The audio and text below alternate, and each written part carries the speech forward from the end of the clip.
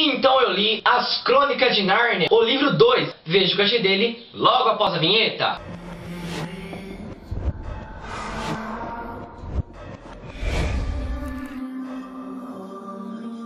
Continuando a série que fala sobre Nárnia, hoje vou falar do livro 2, que é realmente onde eu conheci realmente Nárnia, por causa do filme que lançou. O segundo livro da série As Crônicas de Nárnia narra a história de quatro garotos, Pedro, Susana, Lúcia e Edmundo. São quatro crianças que vão morar na casa de um professor de história, pois estava acontecendo uma guerra em Londres. E já no início da história, eles começam já a... Essa casa que, do professor é muito grande, e lugares que eles começam a visitar e que não conheciam ainda, até que eles entram num lugar onde só tem um armário. Que nesse guarda-roupa apenas Lúcia se interessou e resolveu abrir para ver o que tinha dentro dele. E, le e levou ela para dentro de Nárnia, onde o inverno é para sempre e nunca chega o Natal. Assim que ela volta para o mundo real, ela acha que demorou um bom tempo, que os seus irmãos estavam sentindo falta.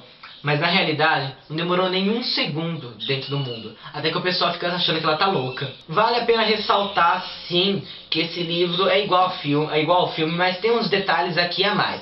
Eu particularmente gostei mais dessa segunda história do que a primeira, né? Essa leitura flui rapidamente, é uma escrita fácil de se ler e quando você vê, você já acabou.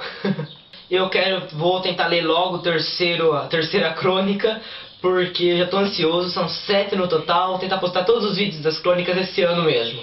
Então é isso, gente. Fica a dica pra vocês, o Feleão, a Feiticeira e o Guarda-Roupa.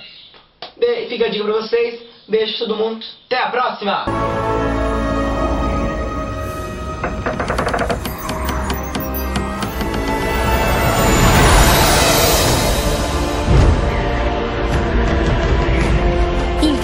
り。